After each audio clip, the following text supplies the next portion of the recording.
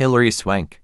Hi, Sharon, remember me? I certainly love a real life character, especially when it's like almost stranger and more beautiful than fiction.